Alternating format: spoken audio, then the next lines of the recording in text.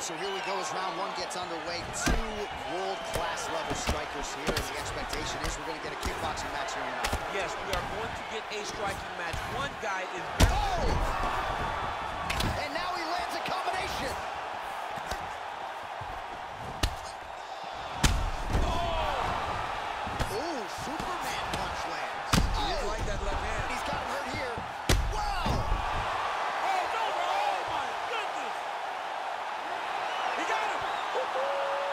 Yeah, we're just